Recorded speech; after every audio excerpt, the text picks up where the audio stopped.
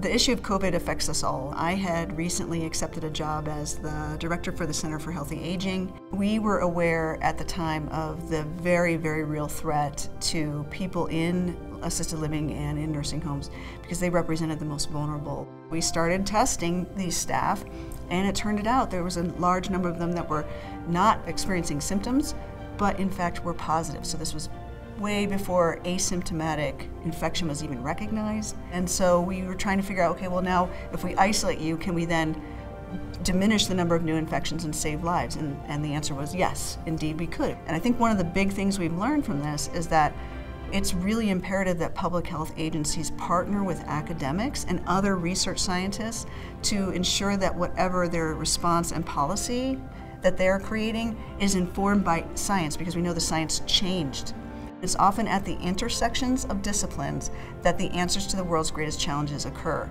This meeting is one of those examples that we've brought people from all over the world, from every discipline, to focus on issues surrounding musculoskeletal disease, regenerative medicine, and aging. And it's that interdisciplinarity that brings strength to every collaboration. And I think that's what the spirit of this meeting is all about.